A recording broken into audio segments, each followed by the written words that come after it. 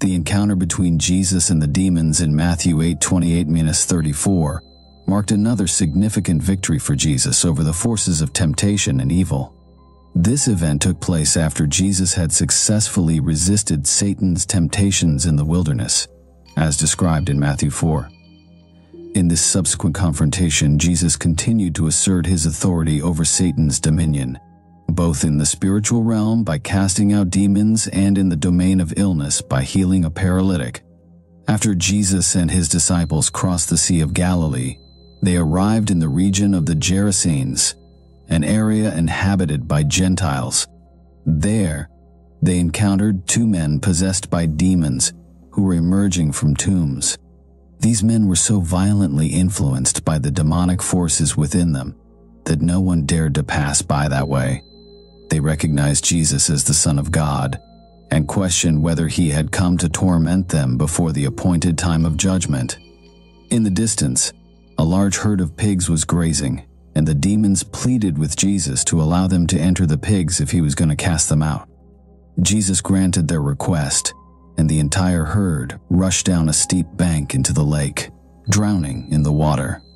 The swineherds who witnessed this extraordinary event rushed back to the town and reported what had happened, including the deliverance of the demon possessed men and the demise of the pigs. The news spread quickly, and the people of the town came out to see Jesus for themselves. However, instead of rejoicing in the miraculous power of Jesus, they were overcome with fear and pleaded with him to leave their region. This incident highlights Jesus' authority over the spiritual realm and his ability to free individuals from the grip of demonic possession. It also reveals the resistance and rejection that Jesus often faced from those who witnessed his works of power. The people's fear and request for Jesus to leave were likely due to a combination of factors. Firstly, the loss of the pigs represented a significant economic blow to the region, as they were considered unclean animals according to Jewish law and were therefore being raised primarily for Gentile consumption. Secondly, the presence of Jesus and his power exposed the deep spiritual darkness that had enveloped the area causing discomfort and fear among the inhabitants. In other accounts of this incident, such as in Mark 5 and Luke 8, additional details are provided. In these versions, the possessed man referred to himself as Legion, indicating that he was inhabited by a multitude of demons. He had been living among the tombs, exhibiting superhuman strength as he broke free from chains and inflicted harm upon himself.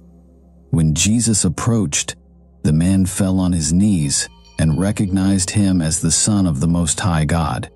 Jesus commanded the impure spirits to leave the man, and they begged to enter a nearby herd of pigs. The subsequent drowning of the pigs and the transformation of the formerly possessed man into a calm and sane individual astounded the witnesses. Rather than allowing the man to accompany him, Jesus instructed him to return to his own people and share the great things the Lord had done for him. The man obediently went and proclaimed throughout the Decapolis, a league of ten cities in the region, the miraculous deliverance he had experienced at the hands of Jesus. As a result, large crowds from various regions, including Galilee, the Decapolis, Jerusalem, Judea, and the area across the Jordan, began to follow Jesus. The confrontation with the demons and the subsequent events in the region of the Gerasenes serve as a powerful demonstration of Jesus' authority over evil spirits and his ability to bring liberation and healing to those in bondage. The fear and rejection exhibited by the people of the town reflect the resistance that Jesus often encountered as he challenged the status quo and disrupted the forces of darkness. It also highlights the urgency of the kingdom of God and the divine judgment that awaits Satan and his followers. The incident serves as a reminder of the power and victory available to those who align themselves with Jesus and his mission of redemption and restoration. In the book of Matthew, specifically in Matthew 4 and Matthew 12 28 to 34, we encounter a fascinating account where demons actually beg Jesus to accept their proposal. Surprisingly, Jesus grants their request, but only after receiving permission from them. Upon accepting their proposal, the demons leave the tormented men and enter into a nearby herd of pigs. What happens next is quite ironic. The possessed pigs, now housing the demons, become agitated and rush off a cliff into the Sea of Galilee.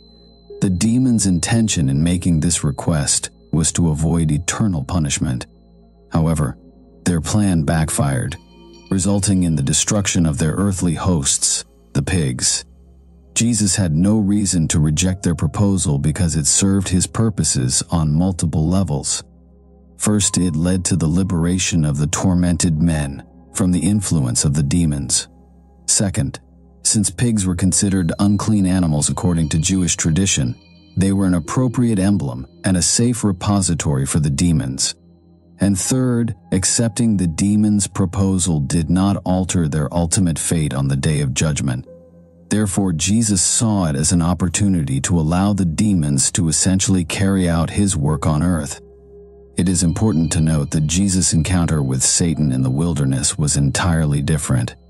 If Jesus were to yield to Satan's demands, it would have led him into disobedience.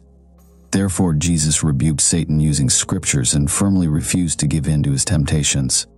This distinction is crucial. The petition of the demons in Matthew 8 did not lead Jesus into sin, whereas Satan's demands were designed to lead him astray.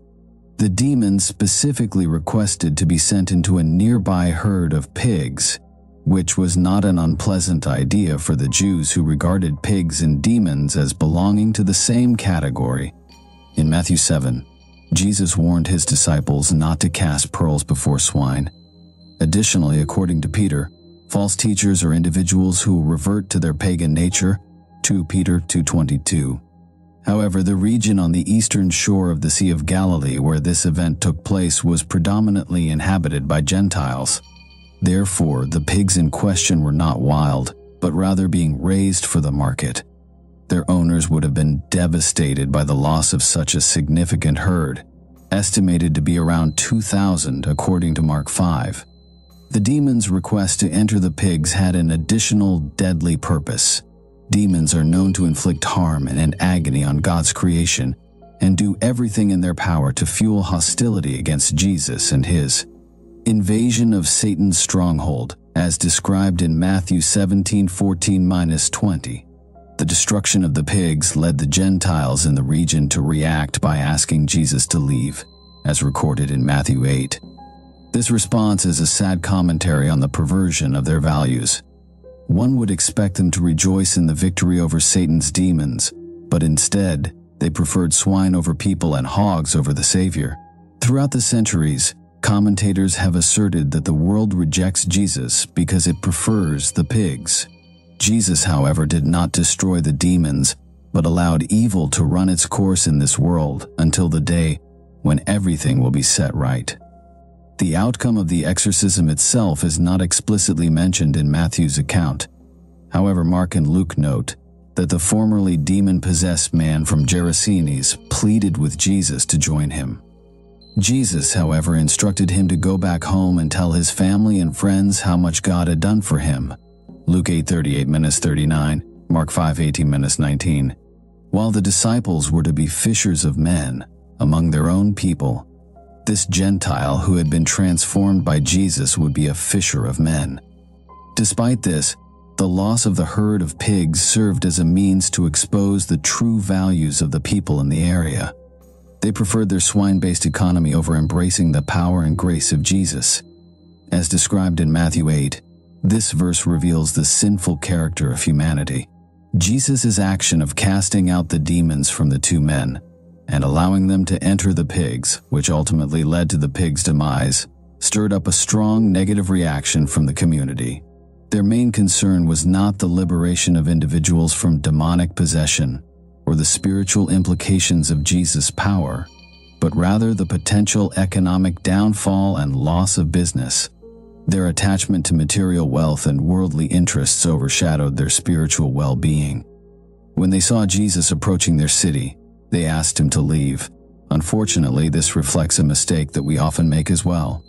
We become accustomed to living with sin and are reluctant to consider the possibility of God removing it, especially if it means sacrificing perceived pleasures or income. However, holding on to sin is one of the most toxic things we can do. This story serves as a poignant reminder of the consequences of prioritizing worldly interests above spiritual health. In conclusion, the account of Jesus granting the demon's request to enter the herd of pigs and the subsequent destruction of the pigs serves multiple purposes. It allows for the liberation of the possessed men, demonstrates the power and authority of Jesus over the demonic realm, and reveals the misplaced priorities and attachment to worldly interests of the people in the region. It also highlights the contrast between the demon's plea and Satan's temptations, as well as the distinction between Jesus' response to each. Ultimately, this event serves as a reminder of the importance of prioritizing spiritual well being over worldly possessions and the consequences of clinging to sin.